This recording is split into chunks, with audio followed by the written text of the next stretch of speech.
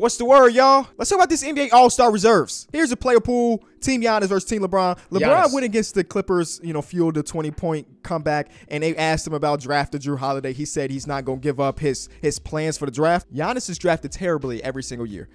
So I hope he got a new strategy because Bron been kicking their butt on that side. Anyway, the Western Conference reserves Paul George, Shea, Jaren, or is it Shy? We're gonna keep saying Shea until he stops playing around. Jaren, Dame, Lauri, Ja, and Domantas Sabonis. Out east, we got Bam, Jaylen Brown, DeMar DeRozan, Joel Embiid, Tyrese Halliburton, Jrue Holiday, and Julius Randle. Now I'm watching this at the NBA.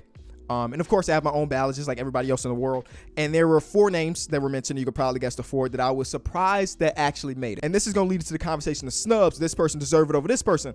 Out east, DeMar DeRozan's name was, I think, the second name announced, and I was genuinely surprised. And I do want to say, I'm not taking anything away from the people that we mentioned as surprises because everybody that was named are, are having all-star caliber seasons in my personal opinion. I just thought that there might be people out in their conferences that might deserve it a little bit more, but that doesn't mean that that person was having a bad season or they're undeserving. I just think maybe a person just deserves a little bit more. And DeMar DeRozan is one of the guys for the Eastern Conference. Now, uh, I've been getting a lot of criti- criticism amongst Bulls fans of saying I'm too hard on my own favorite team, but that's what fandom is for me. Um, and DeMar DeRozan has been having a good season. You look at the stats from last season to this season, he's having a relatively similar season. The differences are he's not the clutchest player in the NBA this season. Like last year, he would have taken home that clutch player of the year award unanimously, and the Bulls are bad. Simple as that. You know, he's still averaging 26 points per game. He still can close out a game here and there. He still got two potential game winners that he got fouled on that the refs. But on my own personal ballot, I didn't have him. I had Pascal Siakam. Now it's gonna get all wonky because you can talk about positions. DeMar DeRozan on the NBA official site was listed as a guard, but he might have got in as a forward. He might got in in a wild card spot. I, I don't I don't actually know, but I'm looking at the reserves and I'm assuming that Jaylen Brown and Tyrese Halliburton were the two guards. Front court ended up being Joel Embiid, Bam Adebayo, and Julius Randle, and that would have meant that the the wild card spots for the Eastern Conference ended up being DeMar DeRozan and Jrue Holiday. That's my assumption. I can't say for sure because they, they never released the ballots for when the coaches are voting because let's be real, the coaches, all 30 of the NBA head coaches did not put out a ballot. They gave it to the assistant, who gave it to an assistant, who gave it to a ball boy, and they put out an official ballot. When you compare DeMar DeRozan and Pascal Siakam, the, the one thing that DeMar DeRozan has over Pascal is his efficiency, and if the Bulls are better, I mean, it's it's by two games. You know, it's not it's not like the Bulls are the five seed and, and Pascal and them are the 15th seed. It's not by a ton. But everything else, the playmaking, the creation, the defense, Pascal has that pretty handily on DeMar DeRozan this season. And when it comes to counting stats, Pascal's only averaging one less point.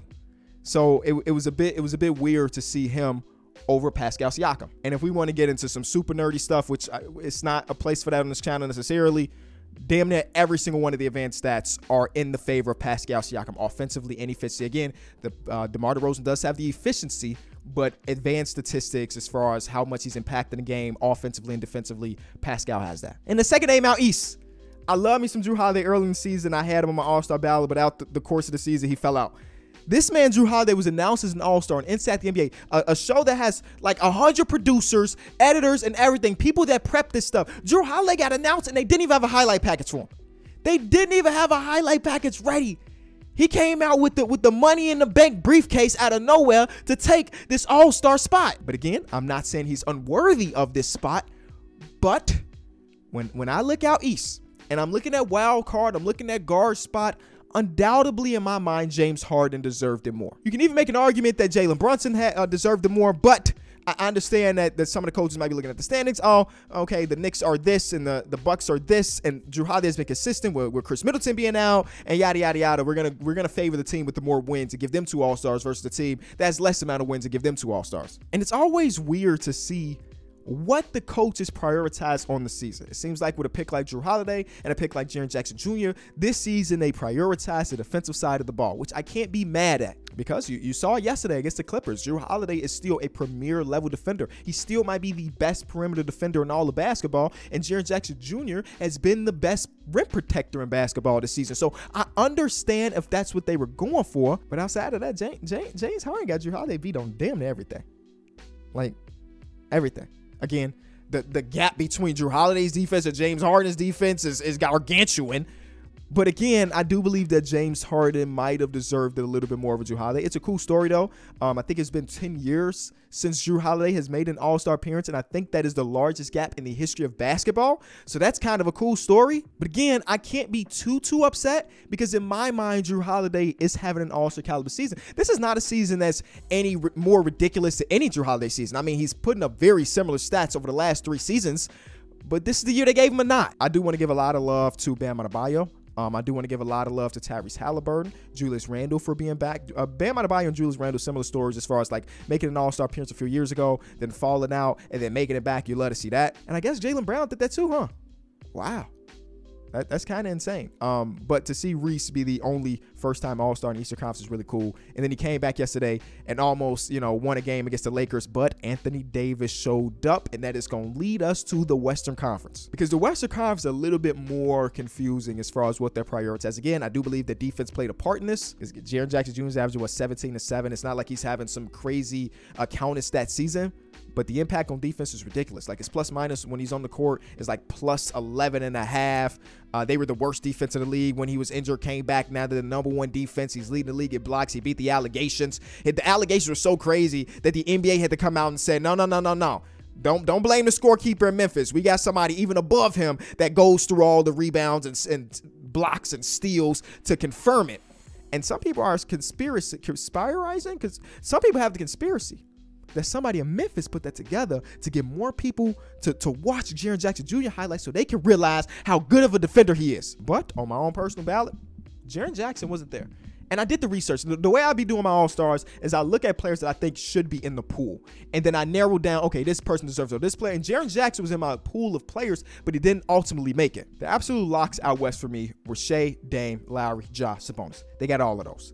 It's once we start talking about the last two spots ended up being Paul George and Jaren Jackson Jr., where I could see the conversations for a De'Aaron Fox. I could see a conversation for an Anthony Edwards. I could see a conversation for a Anthony Davis. Now, now Anthony Davis in a, is a, in a peculiar spot because he missed a ton of time. Um, if you've been looking at his games played, as one of the reasons why he wasn't on the ballot. I mean, I don't I don't know what's more important, games played or minutes played. Uh, Anthony Davis has played more minutes than Jaren Jackson Jr. on the season. Just has. Now, Jaren has played more games, but you know, Jaren has the the one major flaw in his game is his inability to, to stay out of foul trouble. He's better this season than any year of his career, so he's getting better every single year. Um, but because of his only 27 minutes per game and Anthony Davis averaging 33 minutes per game, Anthony Davis at the time of this recording has played more minutes than Jaren Jackson Jr. Jaren has all of the advanced stats over AD all of them. But if you asked me straight up who's having a more deserving all star season, considering both of these guys missed a ton of time and, and, and all of that, I am going to say Anthony Davis. And so there's no disrespect to, to JJJ or Black Panther, which is officially on his basketball reference now. Because if you've been around the channel for some time, you know I've always valued the defense on this channel. Rudy Gobert has been an all-star for over the, over the past like half a decade for me. Even though he's not a fun all-star caliber player, I do believe that we need to to reward the guys that have been extra impactful on that side of the ball because that is the hardest place to be impactful. But even that said, it's not like the gap between Jaren Jackson Jr.'s defense and Anthony Davis' defense is the same as the, the gap between James Harden's defense and Jrue Holiday's defense. Jaren has been better defensively this season, but we're not about to act like that before he got injured, Anthony Davis wasn't top three and defensive player of the year.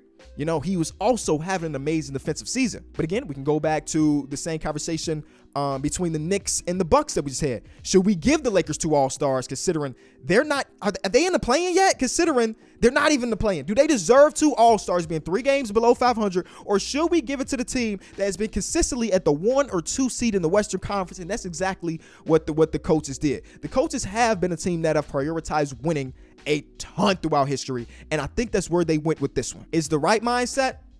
I, I don't, know. I can't say that again. I can't say they're wrong because Jaren is having an All-Star caliber season. Even if I think that Anthony Davis deserves it more. The Paul George versus De'Aaron Fox or the Paul George versus Anthony Edwards is another is another debate. I believe that Paul George is having a somewhat underrated season.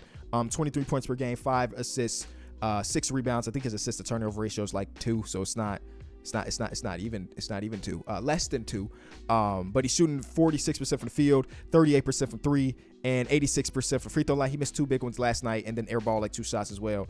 I, it, it's not. It's not the perfect post announcing of an All Star appearance performance I've ever seen. But two weeks ago, when we did our official All Star ballot on our podcast, I did have Paul George as my last wild card spot. But since that time, I switched it to, to Anthony Edwards. Thing that sucks the most though is uh before the season started, I had De'Aaron Fox as like an all star. This is gonna be the year where he did his thing, and I I wanted to see it so very bad, man. What a, what a great season for De'Aaron. I think what hurt De'Aaron Fox is that he had that what four week stretch where he lost his jump shot, and now he's got it back again. But maybe the coaches just thought about that four week stretch. It's like ah, he wasn't hitting shots. He was somewhat struggling, so that's why he didn't deserve it.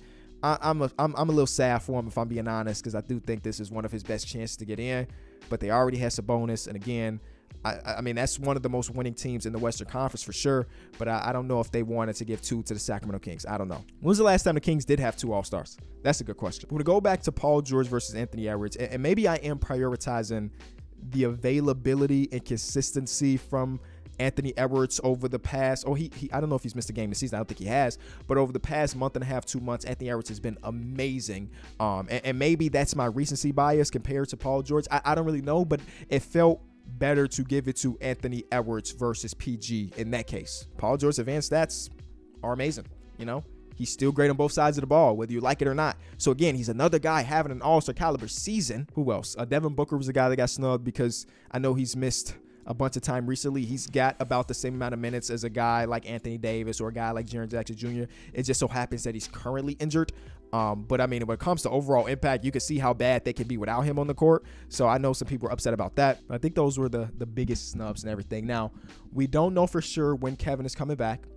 We don't know for sure when Z is coming back. So let's start talking about the injury replacements. Because the way it works is that they'll pull a reserve to be in the starting lineup for those two dudes because they're both starters. And then Adam Silver becomes the guy that selects the two new injury reserves. So it's not based on media, it's not based on fans, it's not even based on coaches, it's based on the head honcho which I guess he's not the head honcho because he works for the owners. It's it's for the guy that looks like he's the head honcho. And throughout the history, I'm looking at it right now for injury replacements. He's of course went to the same conference, which again in this world conferences shouldn't matter anymore. But he's also has a reputation of going to the same position.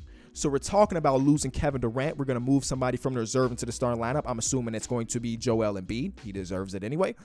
And now we're starting to look at the reserves that can that can take the spot. And this is where things get interesting. Was DeMar DeRozan the guard? Was he a four? Because if DeMar DeRozan was a guard, move him over to four and then bring in a guard. Go get James. It's already a guard heavy conference anywhere, guard heavy all star. Go get James. I think James is the number one guy for the Eastern Conference when it comes to injury replacements. If if we're, if we're strictly sticking on he's going to replace that forward with a forward, it's probably going to be Jimmy Butler.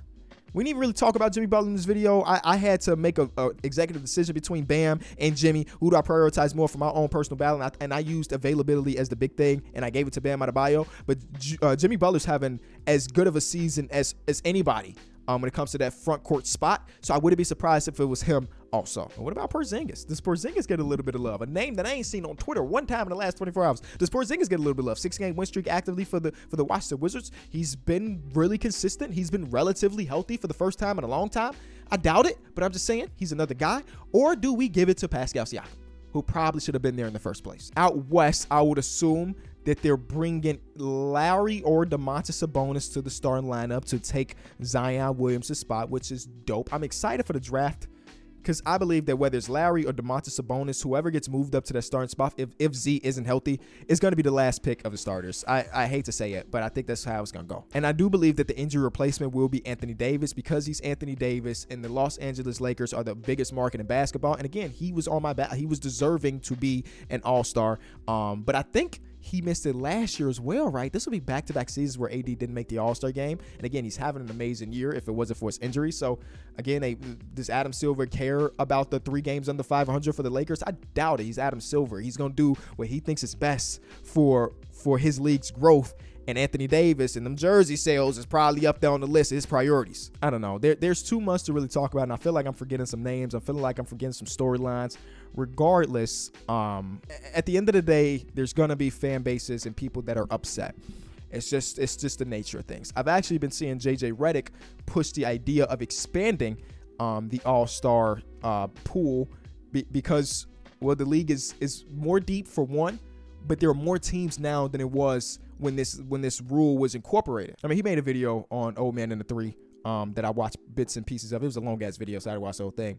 Um, basically making the argument that the amount of people that we have right now is the same as when there was like 20 teams in basketball. So i might be exaggerated, but something similar to that.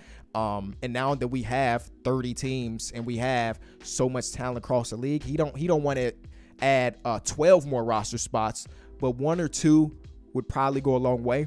But then again, we still playing a game of basketball. So if we add another player or two, that means minutes are gonna get cut. Jimmy Butler not gonna play again. Uh, didn't Fred VanVleet only play three minutes the year he was he was an all star? So I don't know. There's pros and cons to every single thing, but I'm always open um, because again, there are so many people that are deserving that they're gonna miss that all star 2023 on their resume. Let me know what you think. I'll be in the comment section like I always am.